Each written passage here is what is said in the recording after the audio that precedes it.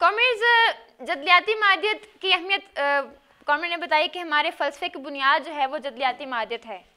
اور ہمارے فلسفے میں جو مارکسس فلسفہ ہے، اس میں جدلیاتی مادیت ایک ریڑھ کی ہڈی کی حیثیت رکھتی ہے کہ اگر انسان کی ریڑھ کی ہڈی ٹوٹ جائے تو وہ بالکل بیکار ہو جاتا ہے۔ تو سب سے پہلے کچھ ٹرمز ہیں، ان پہ بات کریں گے کیونکہ ٹرمز جو یہاں پہ جو نئے لوگ آئے ہیں پہلی دفعہ آئے ہیں ان کے لیے ان ٹرمز کو جاننا ضروری ہے، کیونکہ باقی کامرس جو ہیں وہ ان پہ سنتے رہتے ہیں، بات کرتے رہتے ہیں، پڑھتے رہتے ہیں، ان کو کچھ اندازہ ہوگا، جانتے ہوں گے۔ تو سب سے پہلے ہم بات کرتے ہیں۔ تو کامرس انسان جو ہے اپنے ارد گرد بہت سی چیزیں دیکھتا ہے۔ ہم یہاں اس حال میں بیٹھے ہیں، چھوٹا سا حال ہے، لیکن ہمیں اپنے ارد گرد بہت سی چیزیں نظر آ رہی ہیں۔ تو، فرض کریں یہاں پہ میرے سامنے اگر ٹیبل پڑا ہوا ہے، تو ٹیبل جو ہے، ہم نے ہم نے اپنے ارد گرد رکھا ہوا ہے انسان نے۔ یعنی کہ دروازے کو میں دروازہ کہوں گی، دیوار کو دیوار، ٹیبل کو ٹیبل، کرسی کو کرسی، جگ کو جگ، گلاس کو گلاس۔ تو یہ جو نام ہے، یہ ہمیں کہاں سے ملتا ہے؟ کیا جب انسان نے پہلی دفعہ کسی چیز کو دیکھا تھا، کیا تبھی اس کے ذہن میں آ گیا تھا کہ یہ یہ چیز ہے؟ کیا اس کے ذہن میں فوری طور پر نام آ گیا تھا؟ ایسا نہیں تھا۔ ٹیبل کا اگر ہم دیکھیں تو مثال کے طور پر میں ٹیبل کی مثال لے رہی ہوں کہ اس کا جو ہے کانسیپٹ جس کا ہم اردو میں تصور کلی جس کا ہم ترجمہ کرتے ہیں کانسیپٹ تو ہم دیکھیں گے یہ ٹیبل ہے جو میرے گھر میں ٹیبل ہے، اس سے بالکل مختلف ہے۔ اس کی ساخ مختلف ہوگی، اس کا رنگ مختلف ہوگا، اس کا سائز مختلف ہوگا۔ لیکن میں پھر بھی ٹیبل کو ٹیبل ہی کہوں گی۔ آپ فرنیچر کی دکان پہ جائیں، آپ وہاں پہ ٹیبل خریدنے جائیں گے، آپ کہیں گے، بھائی، ہمیں ٹیبل چاہیے۔ تو آپ کو کوئی خاص ٹیبل نہیں دکھائے گا کہ، بھائی، یہ ٹیبل ہے، یہ لے لو۔ وہاں پہ ایک لائن لگی ہوگی ٹیبلوں کی کہ، بھائی، آپ کو جو نظر آتا ہے، تو آپ اس میں سے وہ ٹیبل لے سکتے ہیں۔ تو اس طرح سے دیکھتے ہیں کہ چیزوں کا جو کانسیپٹ ہے یعنی کہ یہ مثال ہے کہ اگر ہم پانی کی مثال لیں تو پانی جو ہم پانی پیتے ہیں، اسے بھی ہم پانی کہتے ہیں۔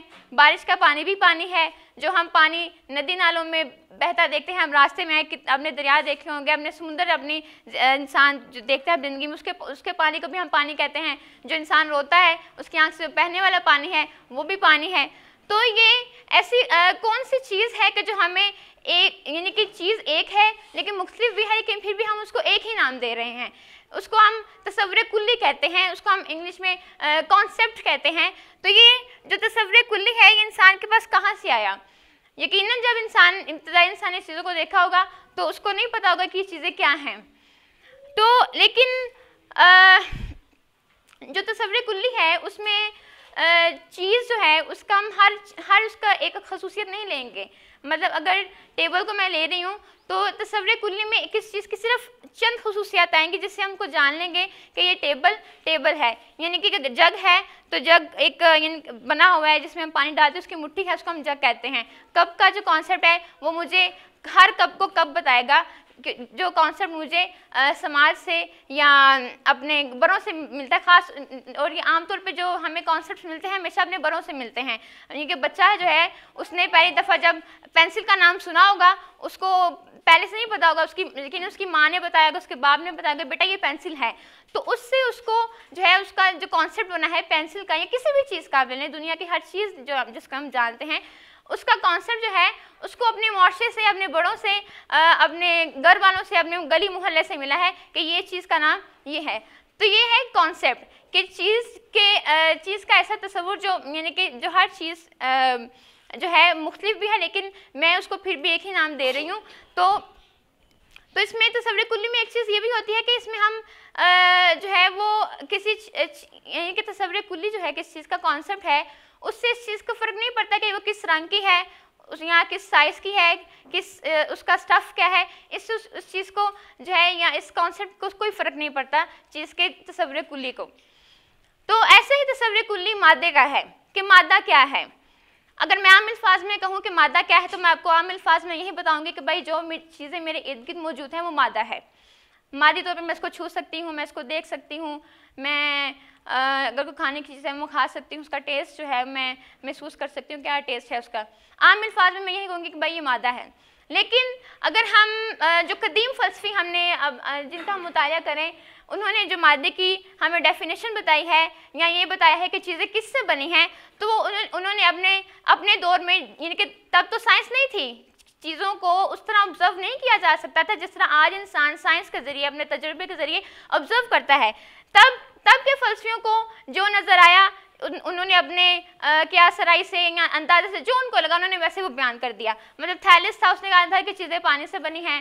جو ہیراکلیٹس ہے، جسے لینن نے جدلیات کا بانی کہا ہے، اس نے کہا تھا کہ بھائی، چیزیں آگ سے بنی ہیں۔ اس طرح کچھ فلسفیوں نے کہا تھا، چیزیں ہوا سے بنی ہیں اور یہاں چیزیں جو ہے مٹی کے ذرات سے بنی ہیں۔ ڈیموکریٹس کا جو ہے، اس نے ہمیں تھوڑا سا بتایا کہ چیزیں جو ہیں وہ ایٹم سے مل کر بنی ہیں۔ اور ایٹمز ہیں وہ ناقابل تقسیم ہیں ایٹمز کو ہم نہ چھو سکتے ہیں، نہ دیکھ سکتے ہیں، تو چیزیں جو ہیں وہ ایٹمز سے مل کر بنی ہیں۔ تو اس نے کہا تھا کہ ایٹم جو ہے وہ ناقابل تغیر، ناقابل تقسیم ہیں۔ تو اسی طرح ایک فلسفی ہندوستان کا فلسفی تھا یعنی کہ قدیم فلسفیوں میں سے تھا، کپل نام تھا اس کا۔ اس نے بھی یہ کہا تھا کہ چیزیں جو ہیں وہ عدم سے نہیں آتی، چیزیں مادہ سے بنی ہیں۔ چیزیں جو ہیں وہ جب کوئی چیز ختم ہوتی ہے، بالکل ختم نہیں ہوتی، بلکہ وہ اپنی ایک شکل بدل کے وہ دوسری شکل میں تبدیل ہو جاتی ہے۔ اس کو، مادے کو بالکل ختم نہیں کیا جا سکتا۔ اس طرح کے ہمیں کانسیپٹس ملتے ہیں۔ تو یہاں پہ جو ڈیموکریٹس نے ہمیں جو کانسیپٹ دیا، جو ہمیں مادے کا بتایا کہ مادہ کیا ہے، تو اس نے کہا تھا کہ مادہ جو ہے، وہ ہمارے شعور سے آزاد، ہمارے شعور سے باہر اپنی آزاد حالت میں موجود ہے، اور وہ ہمارے اندر جو ہے، احساسات پیدا کرتا ہے، ہمارے اندر اپنی شبیر چھوڑتا ہے، اس نے یہ بتایا۔ اب جب اس نے کہا کہ ایٹمز پر چیزیں مشتمل ہیں، تو یہاں پہ آگے مسئلہ ہوا کہ اس دور کے جو اینیت پرست تھے مطلب اس نے کہا کہ ایٹم جو ہے، ناقابل تقسیم ہے۔ ٹھیک ہے۔ لیکن جب اس دور کے لیکن جب بعد میں جو سائنسدانوں نے اس پہ تجربہ کیا، تو اس نے کیا ڈیموکریٹس نے کہا تھا کہ ایٹم کو توڑا نہیں جا سکتا۔ لیکن اس نے یہ نہیں کہا تھا کہ کون سا ایٹم ہوگا جس کو نہیں توڑا جائے گا۔ جب سائنسدانوں نے اس پہ تجربات کیے، انہوں نے ایٹمز کو توڑا، پھر جب الیکٹرانز دریافت ہوئے، تو انہوں نے جو اس دور کے جو اینیت پرست تھے، انہوں نے کہا نہیں بھائی، ایٹم تو ٹوٹ گیا ہے، لہٰذا جو ڈیموکریٹس کا مادے کا فلسفہ تھا، وہ ختم ہو چکا ہے، لہٰذا مادہ ہے ہی نہیں۔ تو اس طرح اس دور کے جو اینت پرست ان کو موقع مل گیا کہ وہ اینت پرستی کے حمایت میں وہ اپنی دلیل پیش کر کی انہوں نے۔ اس طرح میں ماخ جو اینت جو داخلی اینت پرست ہے، اس نے اس نے تو مادے کے مادے کے ہونے سے ہی انکار کر دیا۔ اس نے کہا جی مادہ تو بالکل نہیں ہے، جو بھی ہیں وہی ہم حصیات جو بھی ہیں ہماری حصیات ہی ہیں۔ ہم جو ہے جو بھی چیزوں کو دیکھتے ہیں یا جانتے ہیں، اپنی حصیات کے ذریعے جانتے ہیں، مادہ جو ہے بالکل اپنا وجود نہیں رکھتا۔ تو اس پہ، جب لینن نے اس بات اس پہ تنقید کی، اس کے، اس فلسفے پہ یا اس کے، اس نظریے پہ، تو لینن نے کہا تھا کہ یہ یہ کوئی نئی بات نہیں کر رہا، مارکس جو ہے یہ بالکل وہی فلسفہ ہے جو برکلے نے دیا تھا، مارکس جو ہے اسی کے فلسفے کو دوبارہ رنگ و روگن کر کے نیا بنا کے پیش کر رہا ہے، اس میں کوئی نئی بات نہیں بالکل پرانا فلسفہ ہے جو برکلے نے دیا تھا تو لیکن پھر جو ہمیں لینن نے جو ہمیں جدلیاتی مادد کے اصولوں کے مطابق جو ہمیں مادے کا فلسفہ مادے کا جو ایک کانسیپٹ ہے، تصور کلی جو ہے، وہ دیا، تو اس نے کہا تھا کہ مادہ جو ہے، وہ ہماری ہمارے شعور سے، انسان کے شعور سے، انسان کی سوچ سے بالکل آزاد وجود رکھتا ہے، وہ ہمارے اندر احساسات پیدا کرتا ہے، ہمارے اندر اپنی شبیہ چھوڑتا ہے، ہمارے وہ مادہ تب بھی موجود ہوتا ہے جب انسان اس کے بارے میں نہیں سوچ رہا ہوتا، جب انسان اس کو نہیں جانا ہوتا، مادہ تب بھی موجود ہوتا ہے۔ مطلب ہم اگر مثال لیں تو جب انسان نے نہیں جانا تھا کہ چیزیں کیا ہوتی ہیں جب انسان کو نہیں پتا تھا کہ ان کی جب روشنی کے اگر رفتار کی ہم مثال لیں، تو جب انسان نے دریافت نہیں دکھی تو کیا اس وقت روشنی کی جو رفتار ہے وہ نہیں تھی؟ تب بھی تھی، لیکن انسان نے بعد میں مادے کے ساتھ اپنے عمل کے ذریعے چیزوں کو جانا اور اس کو پتہ چلا کہ یہ چیز ہے۔ تو مادہ جو ہے وہ تب بھی وجود ہوتا ہے تب بھی اپنا وجود رکھتا ہے۔ جب انسان اس کے بارے میں نہیں سوچ رہا ہوتا یا نہیں جان رہا ہوتا، تب بھی وہ اپنا وجود رکھتا ہے۔ تو اس طرح لیکن لینن کہتا ہے کہ کچھ یعنی کہ اس نے جو تعریف کی ہے کہ مادہ ہماری حصیات پہ اثر کرتا ہے، لیکن کچھ مادی مظاہر، کچھ چیزیں ایسی ہیں جو مادی طور پہ تو وجود رکھتی ہیں، لیکن ہماری حصیات پہ عمل نہیں کرتی۔ تو یعنی کہ جس طرح الٹرا وائلٹ شعائیں ہیں، جو جس یعنی کہ ہمیں نظر نہیں آ رہی اس وقت، یقیناً ہیں ان کا وجود ہے۔ انسان نے، انہیں اپنے تجربے سے، اپنے اپنی سائنس کے ذریعے سے جانا ہے اور انسان کو بتایا ہے کہ بھئی ایسی بھی کوئی چیز ہے۔ یا ہم جس طرح یا یہ وائی فائی کے سگنلز ہیں یا ہمیں نظر نہیں آتے، لیکن ہم اپنے موبائل کے ذریعے دیکھ سکتے ہیں۔ ہمیں ویسے تو نظر نہیں آ رہے، لیکن ہمیں موبائل میں، ہم اپنے موبائل کے ذریعے دیکھ سکتے ہیں کہ وہ چیزیں جو ہیں موجود رکھتی ہیں۔ تو اس طرح وہ کہتے ہیں کہ لیکن اس نے جو ایک مادے کا جو خاصہ بتایا ہے، خاصہ اس نے یہی بتایا ہے کہ مادہ انسان کے شعور سے باہر وجود رکھتا ہے۔ یہ اس نے بتایا۔ تو اب اس نے مادے کا جو جدلیاتی پہلو ہے لینن نے جو ہمیں بتایا ہے کہ جو مادی ہے وہ معروضی ہے اور جو معروضی ہے وہ مادی ہے۔ یعنی کہ مادی جو ہے، معروضی یعنی کہ جو ہم سے باہر وجود رکھتی ہے، باہر جو اپنا وجود رکھتی ہے، وہ معروضی ہے اور جو باہر ہے، وہ مادہ ہے۔ تو یہ اس نے ایک جدلیاتی پہلو بتایا تھا مادے کا کہ یہ مادے کا جدلیاتی پہلو ہے۔ اس کے بعد اگر ہم سوال کریں کہ جو سایہ ہے، سایہ مطلب وہ جن بوت پریت والا سایہ نہیں، میں کہہ رہی، سایہ شیڈو والا جو سایہ ہے، کیا وہ بھی مادی ہے؟ یعنی کہ میں اگر یہاں میرا پیچھے سایہ پڑ رہا ہے تو دیوار پہ کیا یہ سایہ مادی ہے؟ تو لینن کہتا ہے کہ بالکل یہ مادی ہے، کیونکہ سایہ جو ہے وہ کسی مادی چیز کا ہے۔ میں ہوں، میرا مادی وجود ہے، یہ میرا سایہ ہے۔ جس چیز پہ پڑ رہا ہے وہ بھی مادی ہے۔ دیوار پہ پڑ رہا ہے، دیوار مادی ہے۔ اور جس چیز کی وجہ سے یہ سایہ بن رہا ہے وہ بھی مادی ہے روشنی کی وجہ سے۔ یعنی کہ روشنی ہے نا جو میرا سایہ بنا رہی ہے، روشنی اپنا مادی وجود رکھتی ہے۔ تو سایہ جو ہے انسان کا وہ بھی مادی ہے شیڈو وہ بھی اس سے بھی ہم مادی ہی کہیں گے، ہم مادی پسند کو مادی کہیں گے کہ سایہ بھی مادی ہے۔ تو یہاں پہ ایک مثال دوں گی کہ پیسے جو، پیسے کی مثال دوں گی کہ کسی انسان کی جیب میں جب پیسے ہوتے ہیں تو اس کو لگتا ہے کہ بھائی ہاں میری جیب میں پیسے ہیں، پیسے کا مادی وجود ہے۔ لیکن پیسے کا جیب میں نہ ہونا بھی اتنا ہی مادی ہے جتنا کہ پیسے کا جیب میں ہونا مادی ہے۔ مطلب اب تین دن سے میرے موبائل میں سگنل ہی نہیں آ رہے، تو میں بڑی پریشان ہوں کہ یار سگنل ہی نہیں آ رہے میرے موبائل میں۔ تو بندے کو زیادہ محسوس ہوتا ہے کہ بھائی نہ ہونا بھی مادی ہے کہ نہیں آ رہے۔ تو یہ کہتا ہے کہ جتنا پیسے کا ہونا مادی ہے، اس کا، اتنا ہی انسان پیسے کا نہ ہونا بھی اتنی ہی مادی حقیقت ہے جتنا کہ اتنا اس کا ہونا مادی ہے۔ تو یہ ہم نے مادے پہ ڈسکشن کی، تو مادہ جو ہے جس کے ہاں جو ہمیں مجموعی طور پہ ہمیں جو تصور ملتا ہے، لینن نے جو دیا ہے، وہ یہی ہے کہ مادہ ہمارے شور سے آزاد حالت میں وجود رکھتا ہے۔ چاہے انسان اس کے بارے میں سوچے یا جو بھی سوچے مادے کو اس سے کوئی فرق نہیں پڑتا۔ اگر میں یہ ٹیبل براؤن ہے میں کہ نہیں جی تو پیلا ہی ہے۔ تو اس کو کوئی فرق نہیں پڑ رہا وہ براؤن ہی ہے۔ تو مادے کو اس سے کوئی فرق نہیں پڑتا کہ انسان اس کے بارے میں کب کیا سوچتا ہے، وہ اپنا وجود رکھتا ہے۔ تو یہ ہو گیا مادہ۔ لیکن مادے کو ہم خیال جو ہے آئیڈیا اسے ہم جدا نہیں کر سکتے۔ تو اب خیال کیا ہے؟ خیال بھی آتے ہیں۔ خیال، فرض کریں، میں ابھی آپ سے کسی سے بھی کہتی ہوں کہ بھائی، میرے ذہن میں خیال آیا ہے۔ آپ کہیں گے، کس چیز کا خیال آیا ہے؟ یعنی کہ جو سب سے پہلا سوال ہوگا وہ یہی ہوگا کہ بھائی، کس چیز کا خیال ایسا خیال؟ تو یعنی کہ اس کا مطلب ہے کہ خیال جو ہے، وہ نیرا خیال، خالی خیال جو لفظ ہیں یا آئیڈیا ہے، وہ کوئی معنی نہیں رکھتا جب تک کہ وہ کسی مادی چیز کے مادے کے بارے میں نہ ہو، کسی وجود کے، مادی وجود کے بارے میں نہ ہو۔ تو خیال اپنا کوئی معنی نہیں رکھتا۔ تو انسان ہے، جتنا بھی یعنی کہ کوئی بھی چیز بناتا ہے، پہلے اس کے بارے، اس کے بارے میں ایک آئیڈیا بناتا ہے۔ فرض کریں، میں نے ابھی یہاں پہ الماری بنانی ہے، مجھے الماری کی ضرورت پڑ گئی ہے، میں نے الماری بنانی ہے۔ تو میں اس کے پہلے بارے میں پہلے سوچوں گی کہ بھائی مجھے کیا کیا چیزیں چاہیے؟ اس کی میں الماری بنانی ہے، اس کی چوڑائی کیا ہوگی؟ اس کی لمبائی کیا ہوگی؟ اس کے لیے مجھے کیا اوزار چاہیے ہوں گے؟ اس کے مجھے پیج چاہیے تو پیج کس طرح کے چاہیے ہوں گے۔ اس کے لیے مجھے ٹائم مجھے ٹائم بھی پھر لگانا پڑے گا کہ اتنا اندازہ اندازہ لگانا پڑے گا کہ بھائی مجھے ایک الماری بنانے میں اتنا ٹائم لگے گا۔ تو مجھے اس کے بارے میں پہلے پورا آئیڈیا بنانا ہوگا کہ یہ میں نے ایک چیز بنانی ہے، اس کا میں پہلے آئیڈیا بناؤں گی، پھر میں اس کی طرف آگے جاؤں گی، چیز بنانے کی طرف۔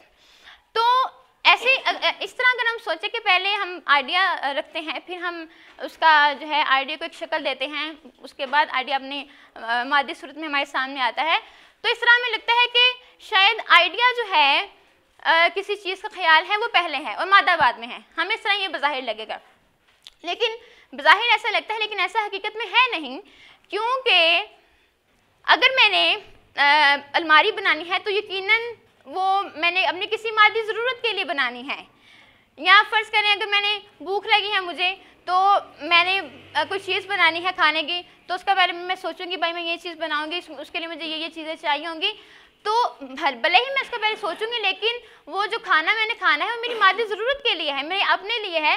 تو اس طرح یہ بات ہمیں جو ہے واضح ہو جاتی ہے کہ بظاہر جو چیز لگتی ہے کہ آئیڈیا پہلے ہے اور مادہ بعد میں ہے، لیکن ایسا نہیں ہوتا۔ اگر آئیڈیا پہلے ہے تو وہ کسی مادی ضرورت کے تحت ہی پہلے آ رہا ہے، وہ بذات خود پہلے نہیں آتا۔ مادی ضرورت کے تحت ہی ہم اس کو پہلے رکھتے ہیں۔ پھر ہم یعنی کہ اس کے بارے میں سوچتے ہیں، اس کا آئیڈیا بناتے ہیں۔ تو اس طرح آئیڈیا جو ہے وہ بعد میں ہے۔ لیکن ایک اور چیز کے آئیڈیا جو ہے وہ کس طرح اپنا اظہار کرے گا؟ یقیناً کسی مادی صورت کے تحت اظہار کرے گا اپنا۔ یعنی کہ اس، میں نے اب میں نے سوچ رکھا ہے کہ میں نے اب آرٹیکل کا میں نے کل ٹارگٹ لیا ہے جیسے، تو میں نے آرٹیکل لکھنا ہے۔ تو میں نے اس کا آئیڈیا بنا لیا ہے کہ میں نے سارا آرٹیکل جو لکھنا ہے، میں نے کیسے کیسے لکھنا ہے، آئیڈیا وہ میرے دماغ میں رہے گا۔ لیکن جب تک میں اس کو ایک مادی شکل نہیں دوں گی، جب تک میں اس کو لکھ نہیں لوں گی، وہ میرے سامنے نہیں آ جائے گا۔ وہ اپنا مادی اظہار نہیں کر پائے نہیں کر پائے گا۔ یعنی کہ آئیڈیا کو اپنا مادی اظہار کرنے کے لیے مادے کی ضرورت ہے، انسان کی ضرورت ہے، انسان کے عمل کی ضرورت ہے، تب وہ اپنا مادی اظہار کرے گا۔ تو اس کو ہم کہتے ہیں کہ جو مادہ ہے، وہ کس طرح جو ہے وہ اپنا مادی اظہار کرتا ہے۔ تو لیکن اب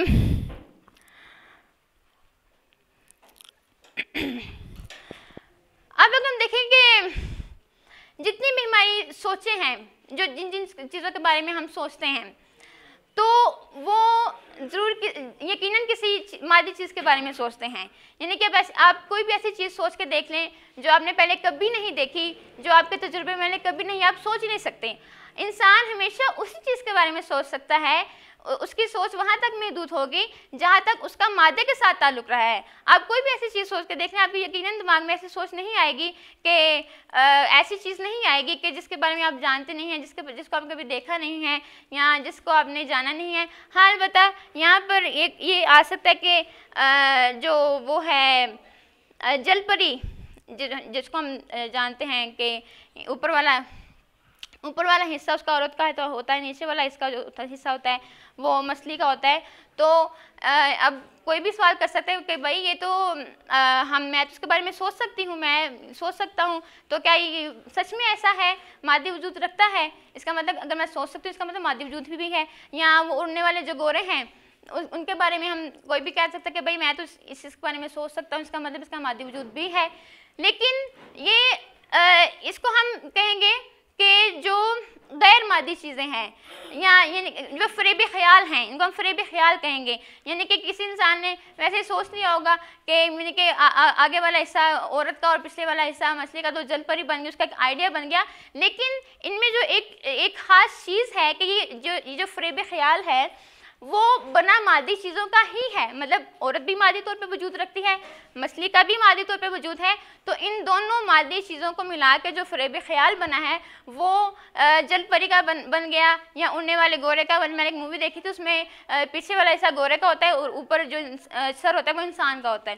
تو ایسی چیزیں بھی وجود رکھتی ہیں، لیکن اس سے ہم نے فرق کرنا ہے کہ حقیقت کیا ہے اور فریب خیال کیا ہے، اس سے ہم اس چیز یعنی کہ اس سے ہم اس میں فرق کر سکتے ہیں۔ تو یہ ہو گیا خیال۔ اب ہم آتے ہیں۔ آگے ہم چلیں گے کہ مادہ اور خیال من میں بات کی۔ تو ہم دیکھتے ہیں کہ جب ہم فلسفے کو پڑھتے ہیں تو ہمیں پتہ چلتا ہے کہ اب تک فلسفیوں میں جتنی بھی بحثیں رہی ہیں جتنے بھی مکالمے ہوئے ہیں، قدیم جو فلسفی ہیں، جو آج کے جو فلسفی ہیں، ان میں یہی بحثیں رہی ہیں کہ پہلے کیا ہے۔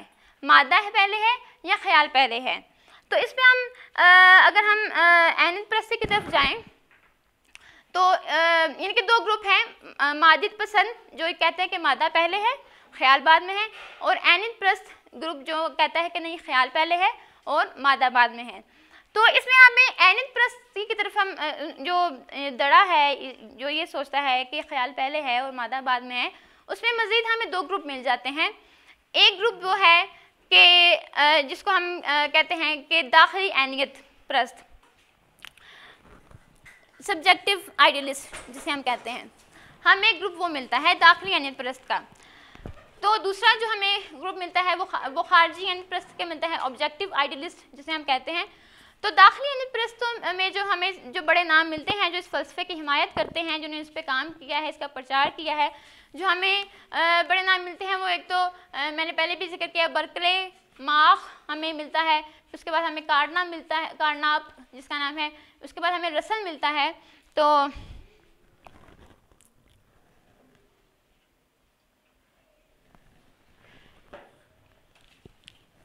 یہ جو ہے چار بڑے نام ہیں جو اس فلسفے کی حمایت کرتے ہیں، جنہوں نے اس پہ کام کیا۔ تو جو برکلے ہے وہ کہتا ہے کہ انسان جو ہے، وہ تین طرح کا علم رکھتا ہے۔ اپنے ایک تو ہے حصیات کا علم، دوسرا تصورات کا علم، اور تیسرا وہ کہتا ہے کہ اپنی انا کا علم، اپنا علم، کہ میں ہوں، میری ذات ہے، میں سوچ سکتا ہوں، میں چیزوں کو دیکھ سکتا ہوں، چھو سکتا ہوں، یہ اس کا اپنا علم ہوگا۔ تو وہ وہ کہتے ہیں کہ چیزیں جو ہیں وہ اپنا مادی طور پہ وجود نہیں رکھتی، وہ صرف انسان کے یعنی کہ انسان کے شعور کے اندر ہیں۔ وہ مثال دیتے ہیں کہ جب انسان خواب دیکھ رہا ہوتا ہے، سو رہا ہوتا ہے، اس کا مادی دنیا سے اس طرح رابطہ نہیں ہوتا، جس طرح وہ جاگتے اس کا رابطہ ہوتا ہے، تو خواب میں بھی تو چیزیں دیکھتا ہے نا؟ تو وہ یہ مثال دیتے ہیں کہ اس طرح جو چیزیں ہیں، وہ شعور کے اندر ہیں، باہر وہ ان کا وجود نہیں ہے۔ وہ وہ یہ اپنی دلیل دیتے ہیں کہ چیزیں کس طرح مادی طور پر وجود نہیں رکھتی ہیں اور کس طرح اس کے شعور کے اندر وجود رکھتی ہیں۔ تو جو برکلے کے جو دو نکات ہیں، ہمیں ملتے ہیں اس کے فلسفے کی چیزیں جو ہیں شور سے باہر وجود نہیں رکھتی ہیں اور جو بھی علم ہے انسان کا، وہ صرف حصیات پہ ہے اور وہی چیزیں اور وہی کچھ وجود میں رکھتا ہے جس کو حصیات کے ذریعے ہم جان سکتے ہیں، ورنہ اگر حصیات نہیں ہوگی تو اس کا مطلب ہے مادہ یعنی کہ انسان چیزوں کے بارے میں نہیں جان سکتا یا چیزوں کو جو ہے وہ اس کا مشاہدہ نہیں کر سکتا چیزیں نہیں رکھ اپنا وجود نہیں رکھتی۔ اس کے یہ دو ہمیں جو ہے نکات ملتے ہیں۔ تو اس پہ حسیات پہ اگر ہم بات کریں تو اس نے کہا کہ حسیات سے ہم علم حاصل کرتے ہیں چیزوں کا، لیکن اگر ہم ماجد پسندی ماجد پسند فلسفے کے تحت دیکھیں تو حصیات جو ہے وہ چیزوں کا ہمیں صحیح علم نہیں دیتی۔ مطلب اگر میرے پاس ایک کموڈٹی ہے، میں نے کموڈٹی کی ویلیو اگر پتہ کرنی ہے تو مجھے حصیات جو ہیں، میری حصیات مجھے کموڈٹی کی ویلیو نہیں بتائیں گی۔ یعنی کہ اگر میں نے پتہ کرنا ہے کہ انسان کا ڈائجسٹو سسٹم جو ہے وہ کس طرح کام کرتا ہے، اس میں خرابی آ جائے گی تو میں اس کو کس طرح صحیح کروں گی؟ یہ یہ میری حصیات مجھے نہیں بتائیں گی۔ یا وہ کہتا ہے کہ جو تصورات کا علم ہے نا، وہ انسان کا منمانی ہے، جو مرضی تصور کر لے، وہ انسان کی مرضی ہے۔ وہ مثال دیتا ہے کہ میں جو میں فرض کر لوں، میں اس وقت تو یہاں پہ موجود ہوں، لیکن میں اس وقت تصور کر رہی ہوں کہ میں جو سی سائڈ پہ بیٹھی ہوئی ہوں اور ڈوب سیک رہی ہوں۔ تو وہ کہتا ہے کہ میں یعنی کہ میں اگر میں خود بھی یہ تصور کروں کہ میں سی سائڈ پہ ہوں، میں ڈوب سیک رہی ہوں، تو آنکھیں بند کر کے میں لیٹی رہوں اور دودھ سیک رہی ہوں، لیکن اس سے مجھے جو ہے وہ اس تصور سے جو ہے وہ مجھے دھوپ کی جو حرارت ہے وہ محسوس نہیں ہوگی۔ جب میں آنکھیں کھولوں گی تو میں تو یہاں پہ موجود ہوں۔ تو وہ کہتا ہے کہ تصورات سے آپ جو چاہیں آپ جو مرضی سوچ لیں۔ تو جو اس کا تیسرا جو ہے جو اپنی انا کا علم جو ہے، وہ کہتا ہے کہ چونکہ ہم چیزوں کو حصیات سے جانتے ہیں، تو اس کا مطلب ہے آپ یہاں پہ جتنے بھی لوگ موجود ہیں، وہ صرف اس لیے ہے کہ میں ان کو محسوس کر سکتا ہوں، اس لیے ان کا وجود ہے، ورنہ ان کا وجود نہیں ہے۔ تو اس طرح ہر انسان جو ہے وہ اپنا ہی سوچے گا، صرف میں ہی میں ہوں اور میرے علاوہ اور کوئی بھی جو ہے انسان وجود نہیں رکھتا۔ تو اس کا جو یہ نظریہ ہے، ہمیں اس فلسفے کی طرف لے جاتا ہے ہما انانیت کا فلسفہ، سولپسزم کی طرف لے جاتا ہے کہ صرف میں ہی میں موجود موجود ہوں۔ تو اگر آپ بھی آپ موجود ہیں یعنی کہ، سوری، میں ہی میں موجود ہوں، تو کیا میں یہاں پہ کھڑی ہو کے پاگل ہوں جو میں آپ سب کے سامنے بول رہی ہوں؟ میں کیوں بول رہی ہوں اگر میں ہی میں ہوں؟ اگر آپ لوگ نہیں ہیں، تو میں کیوں اتنی باتیں کر رہی ہوں؟ میں کیوں یہاں پہ آج جلیاتی ماجد پہ بات کر رہی ہوں؟ تو یہ جو اس کا نظریہ ہے کہ اپنی انا کا علم جو ہے کہ صرف میں ہی میں ہوں، یہ ہمیں، ہم انانیت کی طرف لے جاتا ہے، جس کا مطلب یہ ہے کہ صرف میں ہی موجود ہوں۔ میرے علاوہ جتنے بھی موجود ہیں، وہ صرف اس لیے ہے کہ وہ میری حصیات کی وجہ سے مجھے محسوس ہو رہے ہیں، ورنہ ان کا وجود نہیں ہے۔ یہ تھا اس کا۔ تو آگے ہم چلتے ہیں، جو دوسرا گروہ ہمیں ملتا ہے، اینت پرستوں کا، خارجی اینت پرست۔ خارجی اینت پرست جو ہیں اس میں جو ہمیں دو فلسفی ملتے ہیں، ایک تو ہمیں افلاطون ملتا ہے اور ہیگل، یہ ان دو فلسفے کے ہمیں نام جو ہیں نظر آتے ہیں۔ اور جو خارجی پرست ہیں وہ تصور کلی کو مانتے ہیں۔ جو داخلی علم پرست ہے، جس پہ ہم نے ابھی بات کی، وہ تصور کلی کو نہیں مانتے، کیونکہ تصور کلی یقیناً کسی مادی چیز کا ہوگا۔ جب وہ مادے کو نہیں مانتے، وہ کہتے ہیں کہ تصور کلی کی ضرورت ہی نہیں ہے۔ لیکن جو خارجی علم پرست ہیں، وہ یہ تو مانتے ہیں کہ چیزیں جو ہیں، وہ مادے کو مانتے ہیں، لیکن وہ یہ کہتے ہیں کہ چیزیں جو ہیں، وہ شعور سے باہر یعنی کہ مادہ جو ہے، وہ شعور سے باہر وجود نہیں رکھتا۔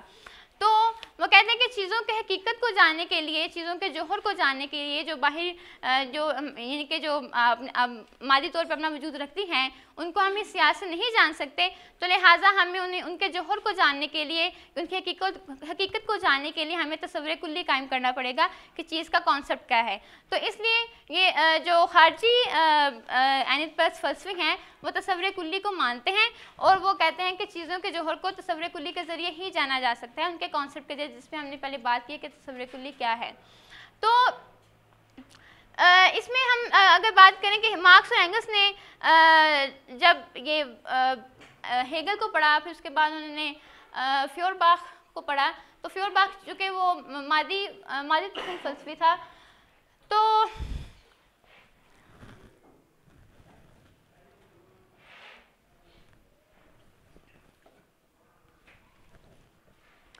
فیور باخ چونکہ مادی پسند مادی پسند فلسفی تھا، تو وہ کہتے ہیں کہ یعنی کہ اس کے مالک پسند فلسفے سے وہ اتنے متاثر ہوئے تھے، وہ کہتے ہیں کہ ایک ٹائم پہ ہم بالکل جو ہیں وہ فیور باقی ہو گئے تھے۔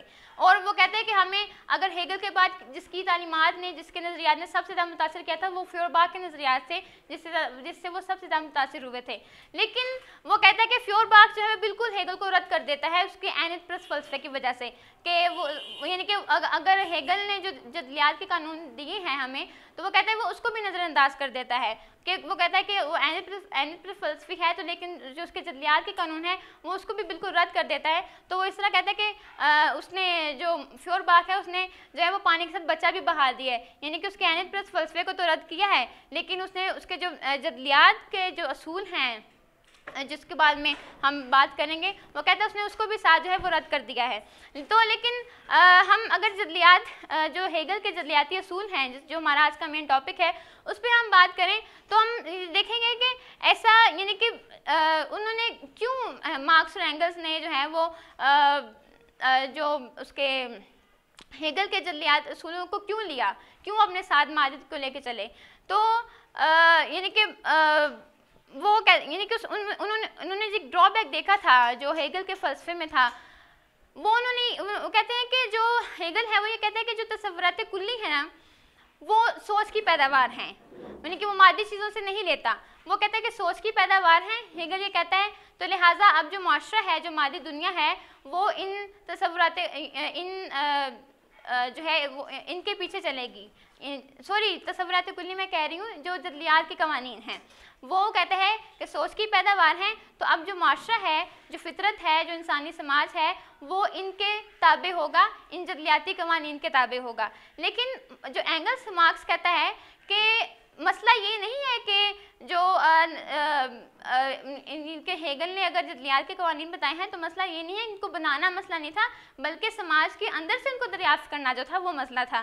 تو اس طرح وہ کہتے ہیں کہ اگر ہم جو جدلیات کے قوانین ہیں اس کو ہم، اگر ہم سماج پہ اپلائی کرتے ہیں تو ہم اس کو سماج کے اوپر اس لیے اپلائی کرتے ہیں کیونکہ ہم نے یہ سماج میں سے ہی لیے ہیں۔ تو اس میں، اس نے یہ ڈرا بیک بتایا تھا کہ ہیگل جو ہے وہ، اس لیے اس نے کہا تھا کہ جو ہیگل کا فلسفہ ہے، وہ اپنے یعنی کہ سر کے بل کھڑا ہوئے، وہ الٹا ہے۔ تو اس نے کہا تھا کہ وہ تھوڑا الٹا سوچ رہے ہیں۔ تو جو جدلیات کے قوانین ہیں، جو ہیگل کے ہیں، ان کو ہم نے بنایا نہیں ہے، یا ان کو ہم نے صحیفے کی شکل میں ہمیں نہیں ملے، وہ ہم نے اسی سماج سے دریافت کی ہیں، اسی سماج کے، اسی سماج کو پڑھ کے، اسی سماج کے تجزیہ کر کے ہم نے جو ہیں، وہ جدلیات کے قوانین لیے ہیں۔ تو یہ ہم نے جو ہے دو جو اینت پرست جو ہمیں فلسفی ملتے ہیں، داخلی اینت پرست اور خارجی اینت پرست، ان پہ ہم نے بات کی۔ تو مادت پسند یہی کہتے ہیں جیسے کہ ہم لانن نے جو بتایا تھا کہ مادہ جو ہے وہ انسان کے شعور سے آزاد حالت میں موجود ہے اور ہمارے اندر احساسات پیدا کرتا ہے، ہمارے اندر ہمارے اندر تصورات پیدا کرتا ہے، ہمارے اندر اپنی شبیہ چھوڑتا ہے۔ یہ ان کے مادے پسند مادے کے متعلق یہ ان کا نظریہ ہے۔ تو اب ہم چلتے ہیں جو ہمارا آج کا جو مین ٹاپک ہے، جدلیاتی مادت کے کہ جدلیاتی مادت ہے کیا؟ ہم اس کی طرف چلتے ہیں۔ تو جدلیاتی مادت کیا ہے؟ اس کے، اس پہ بات کرنے کے لیے ہمیں سب سے پہلے جو ہے جو ہیگل کے قوانین ہیں جدلیات کے، جو اس نے دیے ہیں، ہمیں ان پہ بات کرنی ہوگی کہ جدلیاتی مادے کے قوانین کیا ہیں۔ تو جدلیاتی مادے کے قوانین تین قوانین ہیں جو جس میں ہم آگے بات کریں گے، جو پہلا قانون ہے کہ کوانٹٹی انٹو کوالٹی کمیت کی کیفیت میں تبدیلی، کمیت یعنی کہ اس کی کوانٹٹی اور کیفیت کوالٹی کہ کس طرح چیزیں جو ہیں وہ اپنے اپنی مقدار سے، اپنے معیار میں تبدیل ہوتی ہیں۔ یہ اس کا جو ہے پہلا اصول ہے جدلیات کا۔ اس کے ہم مثال لیں تو ہم یقیناً اپنے سماج سے ہی مثال لیں گے۔ اگر ہم میں اگر مثال دوں تو فرض کریں کہ کس یعنی کہ جب چیز بن رہی ہوتی ہے، تو ایسا کون سا مرحلہ آتا ہے یعنی کہ اس کو اتنی مقدار چاہیے ہوتی ہے کسی چیز کے بننے کے عمل میں کہ جب وہ مقدار اتنی ہو جاتی ہے کہ وہ اپنا اپنا معیاری اظہار کرتی ہے۔ فرض کریں کہ ہم گھروں میں آپ کے گھروں میں دہی کا جاگ جب ہم لگاتے ہیں، یہ بڑی سمپل اور بڑی سادہ سی مثال ہے، اس لیے میں یعنی کہ دے رہی ہوں کہ دہی کا ہم جاگ لگاتے ہیں۔ تو جب ہم دہی کا جاگ لگاتے ہیں، تو اس میں جو بیکٹیریا بنے گا، جس نے دودھ کو دہی میں بدلنا ہے اس کو سفیشینٹ مقدار چاہیے ہوگی سفیشینٹ یعنی کہ ہم کسی بھی چیز کا جو ہے، وہ بننے کے عمل میں سفیشینٹ مقدار ہوگی تو سفیشینٹ ہمیں افیکٹ ملے گا اس کا تو اس کو بیکٹیریا کی اتنی مقدار چاہیے ہوگی کہ جو اس کو دہی میں بدل سکے۔ یعنی کہ وہ اتنا بیکٹیریا بنتا جائے گا، بنتا جائے گا، بنتا جائے گا، تو ایک لمحہ ایسا آئے گا کہ جو مقدار ہے وہ اپنا معیار میں اظہار کر دے گی، وہ دہی بن چکا ہوگا۔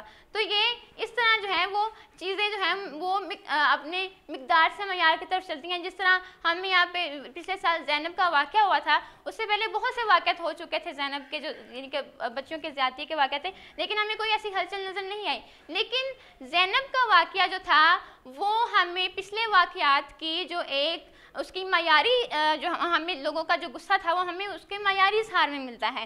کہ لوگوں یعنی کتنے واقعات ہو چکے تھے، ان کی ایک جو ہے وہ کوانٹٹی بن چکی تھی، جس نے بعد میں جب زینب والا واقعہ ہوا یعنی کہ زینب کسی کو، ہم سب کے خاص رشتہ دار تو نہیں تھی، لیکن اتنے واقعات ہونے کے بعد جو اس نے اپنا ایک معیاری اظہار کیا تھا، وہ یہ تھا کہ لوگ سڑکوں پہ باہر نکل آئے، کہ لوگوں کا جو غم و غصہ تھا، وہ ہمیں گلیوں میں عام سڑکوں پہ نظر آنے لگا تھا۔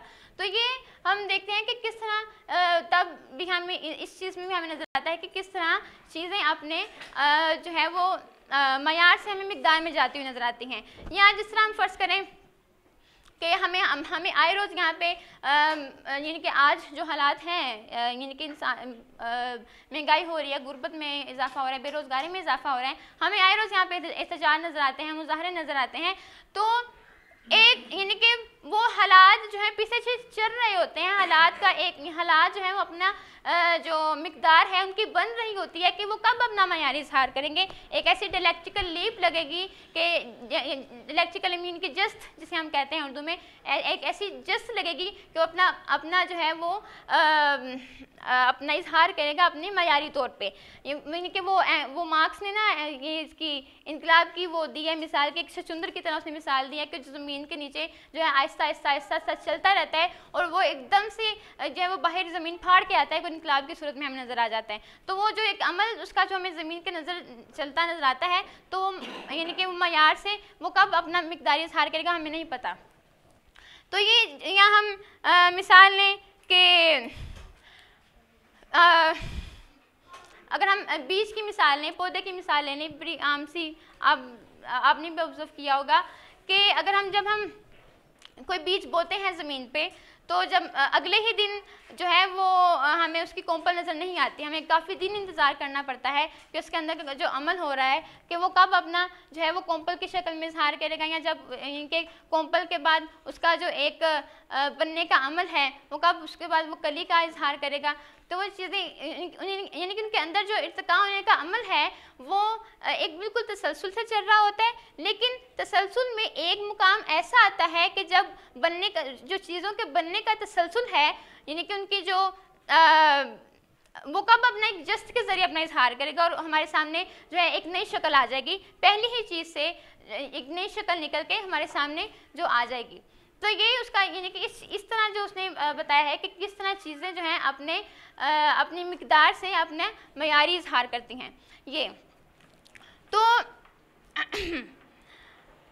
دوسرا جو ہاں یہاں پہ ایک ہے کہ اس میں جو یہ کمیت کی کیفیت میں تبدیلی کا جو قانون ہے، اس میں ہمیں ایک جو مواد و طبیاتی نظریہ ہمیں ملتا ہے کہ ہم تو کہتے ہیں کہ پہلے بیج ہے، پھر اس کے بعد اس کی کومپل ہے، پھر اس کے بعد اس کی کلی نکلے گی، پھر وہ پودا، پھر وہ اپنا درخت، پھول، پھل اس طرح لگے گا۔ لیکن وہ ہم ڈلیکٹیکل لیپ کی بات کرتے ہیں۔ کہ کس طرح جو ہے وہ ڈلیکٹیکل لیپ کہیں پہ لگے گی اور وہ چیز جو ہے وہ اپنی پرانی شکل چھوڑ کے اپنی نئی شکل میں اپنا اظہار کرے گی۔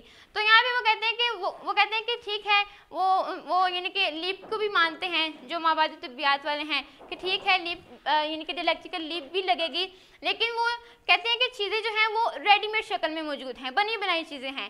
تو ان کے وہ یہ دلیل دیتے ہیں کہ چیزیں جو ہیں، کیونکہ وہ ریڈی میڈ شکل میں موجود ہیں، تو اس لحاظ سے اگر ہم دیکھیں کہ اگر ہم نے بیج بونا ہے، تو یعنی کہ فرض کریں میں نے آم کا درخت لگانا ہے، تو میں نے آم کے درخت کا جو بیج بویا ہے تو وہ اس کے اندر پہلے سے ہی چھوٹا سا آم کا درخت ہونا چاہیے۔ ان کے نظریے کے مطابق، مواد طبیاتی نظریے کے مطابق کہ چیز اگر ریڈی میڈ ہی ہے، تو اس کا مطلب ہے کہ آم کا درخت ریڈی میڈ پہلے ہی اس بیج کے اندر موجود ہے، جو اس بیج یعنی کہ بیج کے ارتقاء کے عمل کے ساتھ وہ پودا بنے گا، تو اسی طرح یعنی کہ آم کے درخت کی شکل میں بڑا ہوتا جائے گا، اس کا جو پروسیس ہے پورا، جو ہم فطرت میں دیکھتے ہیں اس کا تجزیہ کرتے ہیں، وہ اس کو وہ نظر انداز کرتے ہیں۔ تو یہ ان کا ایک تھا مواد طبیات والوں کی، یہ دلیل تھی۔ تو اب جو دوسرا قانون ہے وہ ہے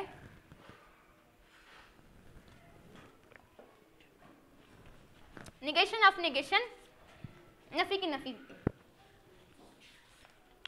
نفی کی نفی کا قانون یعنی کہ رد و نمو یعنی کہ چیز میں اگر چیز اپنے ہی اندر کسی چیز کو رد کر رہی ہے تو اس ردے جانے کے عمل سے ہی ایک نئی چیز کی نمو ہو رہی ہے۔ فرض کریں کہ بیج کی ہم دوبارہ مثال لیں گے کہ اگر ہم نے بیج جب بویا ہے تو، نہیں، اس کی پہلے ہم یعنی کہ اور مثال لینے کے جیسے ہم نے کنک ہے جو ہے، اس کو ہم نے پیسا، تو اس کی ہم نے اس کے بعد آٹا گون لیا، اس کی روٹی بنا لی، تو اس کی نفی کی نفی ہو گئی، تو وہ روٹی کی شکل میں ہمارے سامنے آ گئی۔ ٹھیک ہے؟ تو یہ اس اس کی نفی کی نفی یا پھر جو جو ہے اس کی آپ شراب بنا لیں تو وہ جو جو کی نفی ہو جائے گی وہ آپ کی شراب کی شکل میں آپ کے سامنے آ جائے گی۔ یا جو درخت ہے، میں نے اس کی نفی کی اس کا ٹیبل بنا لیا۔ تو وہ ایک نئی شکل میں میرے سامنے اس کی نفی ہو کے ایک نئی شکل میں میرے سامنے آ گئی۔ تو لیکن اگر ہم اگر ہم اس کو واضح، زیادہ واضح طور پہ دیکھنا چاہیں، اگر ہم اس کو زیادہ ڈیٹیل میں دیکھنا چاہیں، نفی کی نفی کو زیادہ ڈیٹیل میں دیکھنا چاہیں، تو ہمیں دیکھنا پڑے گا کہ بیج کی مثال بڑی اچھی رہے گی۔ اس کے لیے کہ ہم جب ایک بیج بوتے ہیں، تو بیج سے جب وہ کومپل نکلے گی، تو کومپل جو ہے، وہ بیج کو رد کر کے ایک نئی نمو میں آئی ہے۔ یعنی کہ جو بیج بیج کے اندر کا جو عمل ہے، جس نے کومپل کو ہمیں کومپل کی شکل دینی ہے، تو وہ اس کے اندر اس کی نگیشن ہوئی ہے اور نگیشن کے بعد جو ہمیں ہمیں نئی شکل ملی ہے، وہ ہمیں کومپل کی شکل میں ملی ہے۔ اس کے بعد پھر یہ سارا عمل چلے گا، پھر یہ اس کی نگیشن ہوگی کومپل کی، پھر وہ ہمیں ایک کلی کی شکل میں نظر آئے گی، پھر سے یہ سارا عمل چلے گا۔ پھر ہمیں ایک نئی شکل جب ملے گی، وہ ہمارے سامنے پودے کی شکل میں ہوگی۔ تو اس طرح یہ عمل چلتا چلتا ہم دیکھیں کہ جب پورا درخت بن جاتا ہے تو اس میں پورا درخت بننے کے بعد یعنی کہ جو سارا یہ سرکل ہے، نفی کی نفی کا، اس میں ایک جو خاص چیز ہے کہ پورے سرکل کے اندر جہاں سے سرکل شروع ہوا تھا چیز کے بننے کا، دوبارہ اسی پہ آئے گا، پورا گھوم کے۔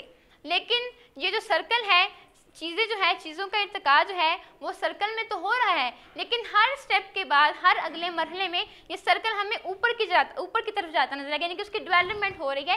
ایک سرکل کی شکل میں تو ہے، لیکن سرکل جو ہے، وہ ہر بار اوپر کی طرف جاتا ہوا نظر آئے گا۔ یعنی کہ اگر ہم جب پورا درخت بن جاتا ہے، اس کے بعد وہ یعنی کہ فرض کریں کہ اگر سیب کا درخت ہے تو سیب میں سے پھر ہمیں وہ بیج مل جائے گا۔ یعنی کہ وہ جو پورا عمل ہے، اس نے پھر اپنا وہیں سے آغاز کر دیا جہاں سے ہم نے اس کو شروع کیا تھا۔ لیکن اس میں جو ایک اوپر کا مرحلہ ہوگا، اس میں یہ بھی ہوگا کہ پہلے تو ہم نے ایک بیج بویا تھا، لیکن ایک بیج بونے کے بعد اس کا جو سارا ایک ارتقاء کے بعد، اس کے پودا بننے کے بعد، ایک جو ترقی یافتہ شکل میں اس کی ڈیولپمنٹ کے بعد ہمیں جو ملا ہے، وہ کئی بیج ہمیں مل جائیں گے۔ ایک بیج کے بونے کے بعد۔ یہ اس کا ایک یعنی کہ جدلیات کا ایک یہ اصول ہے کہ چیزیں ہیں وہ کس طرح سے ہیں، وہ اپنا ارتقاء کرتی ہیں اور کس طرح سے ڈیولپ ہوتی ہیں۔ تو یہ اس کے بعد اگر ہم فرض کریں اگر ہم سرمایہ دارانہ نظام کی مثال لیں، تو اگر ہم یہاں پہ انقلاب آ جاتا ہے، تو اس میں ہم اس کی نگیشن جو ہے وہ کس طرح کریں گے؟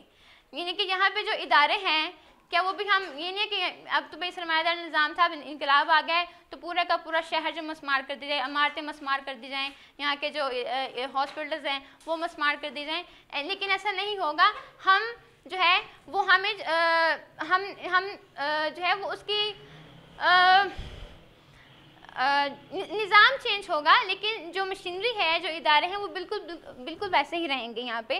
لیکن جو نظام چینج ہوگا، وہ اپنی ہم، ایک نئی شکل میں ہمیں ملے گا۔ یا ہم دوبارہ اگر ہم پیچھے کی طرف جائیں پودے کی مثال کی طرف جائیں، تو جو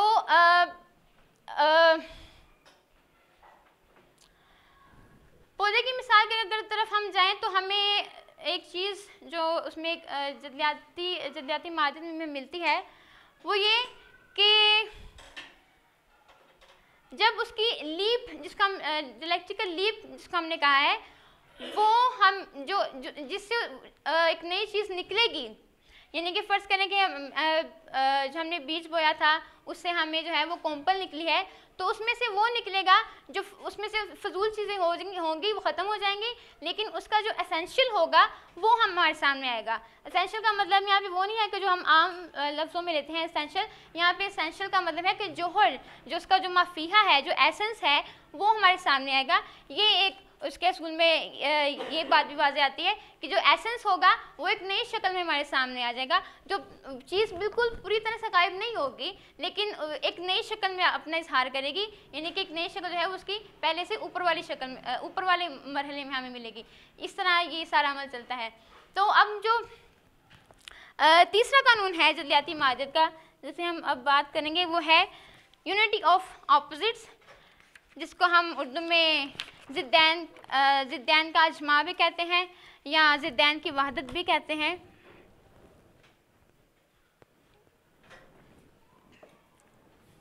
ہیگل نے اس جو اصول کو بڑی اہمیت دی ہے۔ وہ کہتا ہے کہ جتنی بھی جدلیات ہے جتنا بھی جدلیاتی فلسفہ ہے وہ اسی اصول کے تحت چلتا ہے کہ کسی بھی چیز میں ایک وقت میں دو اپوزٹ چیزیں چل رہی ہیں۔ فرض کریں کہ اگر ہم بائنر سسٹم لیں تو بائنر سسٹم میں بھی ایسا ہوتا ہے کہ پورا بائنر سسٹم جو ہے وہ زیرو ون زیرو ون پہ ہمیں چلتا نظر آتا ہے۔ یا اگر ہم جو الیکٹریسٹی کی ہم جو چیزیں ہیں اس کی مثال لے لیں تو اس میں ایک جو ہے وہ پوائنٹ ہوتا ہے پلس کا ہوتا ہے اور ایک نیگیٹیو کا ہوتا ہے، تو یعنی کہ وہ دو متضاد چیزیں جو ہیں، مل کر بیک وقت ایک ہی چیز میں دو متضاد چیزیں جو ہیں چل رہی ہیں، اگر ہم اس میں سے ایک بھی چیز نکال دیں گے یعنی کہ اگر ہم اس کا نیگیٹیو پوائنٹ نکال دیں یا اس کا جو پلس والا پوائنٹ ہے، اس کو نکال دیں، تو وہ وہ بجلی کی چیزیں جو ہے وہ کام کرنا چھوڑ دیں گی۔ تو وہ کہتے ہیں کہ جدلیات، جو پوری جدلیات ہے وہ اسی اصول کے تحت کام کرتی ہے اور جو چیزوں کے درمیان حرکت ہے، کہ جو چیزوں کو، چیزوں کی حرکت ہے، جو ان کو آگے لے کے جا رہی ہے وہ اس استضاد کے بغیر ان چیزوں یعنی کہ زدین کے اجماع کے بغیر ممکن ہی نہیں ہے۔ یا فرض کریں کہ ہم اپنے جتنے بھی آج تک سماجی نظام گزرے ہیں، پہلے جو تھی وہ غلام داری تھی، پھر مزاروں کا دور آیا، پھر سرمایہ داری دور آئی۔ تو ہمیں ہر نظام میں دو متضاد طبقے نظر آ رہے ہیں، جن کے مفادات ایک دوسرے سے ٹکراتے ہیں۔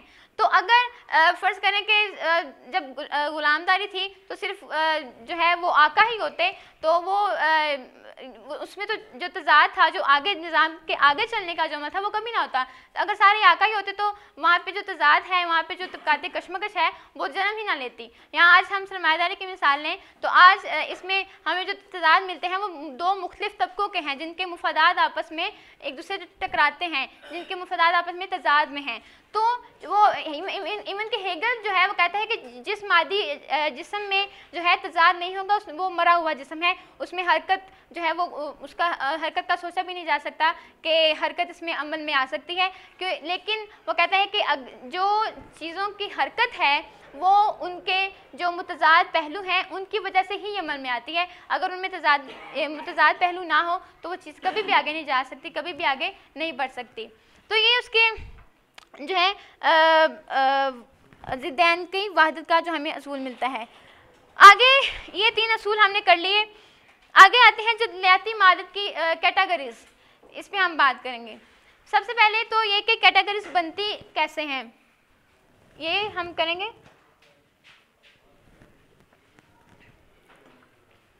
کیٹاگریز جو ہیں، وہ زیادہ سے کانسیپٹس کو ملا کے ایک کیٹاگری بنتی ہے۔ یعنی کہ کیٹیگریز میں ہم بات کرنے لگے ہیں تو جو ضدلیاتی معادل کی کیٹیگریز ہیں کیٹیگریز کا ہم ترجمہ ترجمہ اردو میں ہم اس کو مقولے بھی کہتے ہیں، اس کو ہم رمضیے بھی کہتے ہیں کیٹیگریز کو، لیکن ہم یہاں پہ اردو کا کم استعمال کریں گے تاکہ زیادہ سمجھ آ سکے کیٹیگریز ہی ہم استعمال کریں گے یہاں پہ۔ تو یہاں پہ جو کیٹیگریز ہیں، وہ جس پہ ہم پہلے بات کریں گے کاز اینڈ ایفیکٹ کی کیٹیگری پہ ہم بات کرتے ہیں۔ کاز اینڈ ایفیکٹ یعنی کہ اگر فرض کریں میں نے یہاں پہ باہر دھوپ میں بائک یا گاڑیاں کھڑی ہوئی ہیں، تو یقیناً وہ گرم ہو جائیں گی۔ تو وہ گرم یعنی کہ ان کی کاز جو ہے گرم ہونے کی، وہ دھوپ ہے، دھوپ کی حرارت ہے۔ اور ان، اس حرارت کی وجہ سے ہمیں جو ایفیکٹ مل رہا ہے، وہ ہے اس کا گرم ہونا۔ یعنی کہ چیز، چیزیں جو ہیں، وہ چیزوں کے اندر کاز اینڈ افیکٹ کس طرح سے پایا جاتا ہے کہ وہ چیزیں جو ہیں ابھی جو میں نے مثال دی کہ دھوپ میں آپ گاڑی گاڑی خرید کری کی آپ نے تو وہ دھوپ کی دھوپ کی وجہ سے گرم ہو گئی ہے۔ یہاں فرض کریں میں اتنی سردی میں اگر موٹے کپڑے نہیں پہنوں گی تو میں بیمار پڑ جاؤں گی۔ یعنی کہ سردی ہے تو سردی کی وجہ سے جو افیکٹ ہوگا مجھ پہ کاز کا کاز جو ہے وہ سردی ہے۔ اس کاز کا جو ایفیکٹ ہوگا مجھ پہ، وہ بیمار ہونا ہوگا کہ میں بیمار پڑ جاؤں گی۔ تو یہ اس کا ہے کاز اینڈ ایفیکٹ کا۔ لیکن مختلف جگہ پہ دیکھیں تو ایک ہی کاز سے ہمیں مختلف ایفیکٹ نظر آتے ہیں۔ مطلب اگر دھوپ ہے تو دھوپ سے میں نے ابھی کہا کہ چیزیں گرم ہو رہی ہیں۔ تو لیکن دھوپ ایک ہی کاز ہے، دھوپ ہی سے وہ پودوں کو جو ہے وہ حرارت بھی مل رہی ہے۔ ایک ہی کاز ہے جو انسان انسان کو وٹامن ڈی بھی مل رہا ہے دھوپ ہی۔ یعنی کہ کاز ایک ہے، لیکن اس کا ایفیکٹ ہمیں مختلف نظر آ رہا ہے۔ اس طرح ہم دیکھیں کہ کئی دفعہ ایسا ہوتا ہے کہ ایفیکٹ جو ہے وہ ایک ہوتا ہے، اس کی کاز مختلف ہوتی ہے۔ یعنی کہ فرض کریں کہ میں نے کوئی چیز اگائی ہے، لیکن وہ نہیں ہوگی۔ اس میں یہ بھی ہو سکتا ہے کہ یا تو وہ بیج جو ہے وہ صحیح نہیں تھا یا موسمی حالات ایسے تھے کہ وہ بیج کو پنپنے کا جو ہے وہ جو اس کے تقاضے تھے وہ پورے نہیں ہوئے۔ تو وہ جو ہے کاز ایک ہی ہے یعنی سوری ایفیکٹ مختلف ہیں کاز ایک ہی ہے۔ تو یہ ایسا بھی ہوتا ہے۔ تو یہاں پہ جو ہمیں جو ریلیجس پیپل ملتے ہیں وہ کہتے ہیں کہ ان کا ہمیں جو موقف ملتا ہے، وہ کہتے ہیں کہ نہیں یہ جی چیز جو ہے، ہر چیز جو ہے کسی مقصد کے لیے پیدا ہوئی ہے۔ اور ہر چیز کو کسی جو ہے مفوق الفطرت قوت ہے، اس نے پیدا کیا ہے۔ تو یہاں پہ اینگلس نے ان کا بڑا مذاق ہوا ہے وہ کہتا ہے کہ اس کا مطلب ہے کہ چوہوں کو اس لیے پیدا کیا کہ ان کو بلیاں کھا جائیں اور بلیاں اس لیے پیدا کی کہ وہ چوہوں کو کھا جائیں۔ تو اس طرح جو ہے وہ اس نے ان کی جو کاز اینڈ یعنی کہ چیزوں کے ہونے کے، وجود کے ہونے کی جو وجہ ہے، اس کا جو وہ دلیل دیتے ہیں، اس کا اس نے مذاق اڑایا ہے۔ تو یہ اس کی کاز اینڈ ایفیکٹ ہے کہ کس طرح سے چیزیں جو ہے، اس کے کاز سے ایفیکٹ کی طرف جاتی ہیں۔ تو آگے جو اس کی ہمیں کیٹیگری ملتی ہے، وہ ایسنس اینڈ اپیرنس کی ملتی ہے۔ ایسنس اینڈ اپیرنس کی اگر ہم دیکھیں، مثال نے کہ اگر ہم کسی فرض کریں کہ میں کسی بندے سے بات کر رہی ہوں مجھ سے بڑی باتیں کر رہا ہے کہ جی عورتوں پہ ظلم ہوتا ہے، صرف عورتوں کے حقوق پہ حقوق پہ بات کرتا جا رہا ہے۔ یعنی کہ مجھے اس کی باتوں سے لگے گا، میں اس کا ایسنس جانوں گی کہ یہ بندہ جو فیمنسٹ ہے۔ تو میں اس کے جو یعنی کہ اس نے جو مجھے اپنی اپیرنس دی ہے، تو میں اس کا فوراً اس کے جو ہے ایسنس کو جانوں گی کہ بندہ جو ہے فیمنسٹ ہے۔ تو اس طرح سے ہم چیزوں کے اپیرنس سے اس کے ہم اس کے جو ہے وہ ایسنس کی طرف جاتے ہیں۔ اور مارکس تو کہتا ہے کہ اگر چیزوں کے ایسنس اور پیرنس پیرنٹس میں کوئی فرق نہ ہو تو ہمیں کسی بھی سائنس کی ضرورت نہیں ہے۔ تو مارکس نے یعنی کہ اس کے اس طرح مثال دی ہے۔ کہ چیزوں کے ایسنس اور اپیرنس میں یعنی کہ ہم چیزوں کے ایسنس سے ان کے اپیرنس کی طرف جاتے ہیں۔ یا فرض کریں کہ ہم یہاں پہ دیکھ رہے ہیں کہ احتجاج، کسی فیکٹری میں احتجاج ہو رہا ہے جو ہے، مزدور احتجاج کر رہے ہیں، تو ہم فوری طور پہ ایسنس ہم جان لیں گے کہ ضرور ان، جو مزدور ہیں، ہڑتال کر رہے ہیں، ان کے ان کے مطالبات پورے نہیں ہو رہے، ان کو مسائل ہیں، تو اس لیے احتجاج کر رہے ہیں۔ تو یہ اس کی جو ہے وہ ایسنس اینڈ اپیرنس کی کیٹیگری ہے۔ تو اگر ہم دیکھیں کہ چانس اینڈ نیسیسٹی کی ہم کیٹیگری پہ دیکھیں کہ کس طرح سے چانس سے نیسیسٹی پیدا ہوتی ہے اور نیسیسٹی سے چانس پیدا ہوتا ہے تو چانس اینڈ نیسیسٹی کو ہم دیکھیں کہ فرض کریں کہ ہم شادیاں ہوتی ہیں لوگوں کی تو ہم یہ کہ یہ ہوتا ہے کہ اپنی اپنی کی اولاد پیدا ہوگی یعنی کہ اولاد پیدا ہونا جو ہے وہ نیسیسٹی ہے اب چانس ہی یہاں پہ بنتا ہے کہ وہ لڑکا پیدا ہوتی ہے لڑکی پیدا ہوتی ہے۔ اب یہ بھی ہو سکتے ہیں کہ ان کے جو ہے وہ اولاد ہو ہی نہ، ایسا بھی ہو سکتا ہے کہ، لیکن اس کے پیچھے بھی ہمیں وہ، ہمیں کاز اینڈ افیکٹ کو دیکھنا پڑے گا، اس کی کیٹیگری پہ ہمیں جانا پڑے گا کہ اس کے پیچھے کیا وجوہات ہیں۔ یا فرض کریں کہ ہم ہم کہتے ہیں کہ انقلاب جو ہے وہ ناگزیر ہے، انقلاب آئے گا ہی آئے گا۔ کئی دفعہ ایسے حالات ہوتے ہیں کہ اتنے اتنے بڑے واقعات ہو جاتے ہیں، لیکن انقلاب بھی صورتحال نہیں پیدا ہوتی۔ تو لیکن کبھی کبھی ایک چھوٹا سا چانس ہوتا ہے، یہ چھوٹا سا واقعہ ہوتا ہے جو چنگاری کی طرح انقلاب کو جو ہے وہ ہمارے ہمارے آگے اس کی پوری صورتحال ہمارے سامنے نظر آتی ہے۔ اور ہم نے ہم نے ایسے دیکھا بھی ہے کہ کبھی کبھی فیکٹریز میں جو ہے وہ مزدوروں کا اتنا استحصال ہو رہا ہے تو لیکن وہاں پہ کوئی بات نہیں ہوتی، لیکن وہ کبھی ایسا ہوتا ہے کہ چھوٹی سی وجہ ہوتی ہے تو وہاں پہ بڑے بڑے احتجاج ہمیں نظر آتے ہیں کہ چانس جو ہے وہ کس طرح سے نیسیسٹی کی طرف جاتا ہے، تو ہمیں اس طرح وہ ہم یعنی چیزوں کو دیکھ سکتے ہیں۔ یا فرض کریں کہ جو ہے، ہم نے پودا لگایا ہے، تو اب اس نے اگنا ہی اگنا ہے، لیکن اس کو اگر مناسب حرارت نہیں مل رہی، اس کو پانی نہیں مل رہا، اس کو نمی نہیں یعنی کہ اگر سورج کی روشنی نہیں مل رہی، تو وہ چانس ہے کہ وہ اچھا اگے گا یا برا اگے گا، تو یہ اس کا چانس یعنی اگے گا، لیکن وہ اچھا اگے گا یا برا اگے گا، یہ اس کا چانس ہوگا۔ تو یہ اس کی چانس ہے نیسیسٹی کی کیٹیگری ہے۔ تو اگر ہم دیکھیں کہ پاسبلٹی اینڈ ریالٹی اس کی کیٹیگری کی ہم طرف جائیں تو ابھی یہاں پہ فرض کریں کہ اگر بادل ہیں، تو بادل ہم ہم کہیں گے بادل ہیں تو یقیناً بارش ہوگی یعنی کہ پاسبلٹی ہے، لیکن ہو سکتا ہے کہ بادل آگے گزر جائیں اور پاسبلٹی جو ہے وہ ریالٹی میں تبدیل نہ ہو سکے، یہ بھی ہو سکتا ہے۔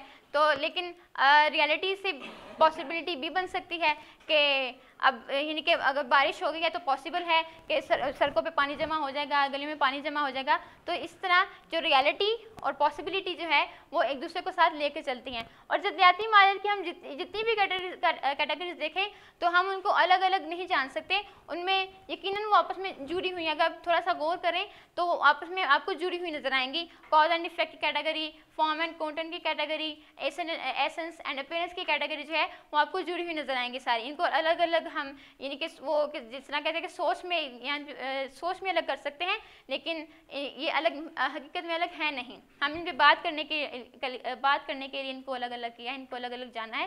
لیکن حقیقت میں جب ہم کسی چیز کے اندر ان سارے کیٹیگریز کو دیکھیں گے تو ہمیں ایک ہی چیز میں وہ جڑی ہوئی نظر آئیں گی۔ تو یہ اس کی جو ہیں وہ ہمیں کیٹیگریز نظر آتی ہیں۔ اس طرح جلیاتی مادے جو ہے وہ کام کرتی ہے باقی جو رہ گئے اپ میں جو ہے اس کو ہم کور کریں گے۔ Thank you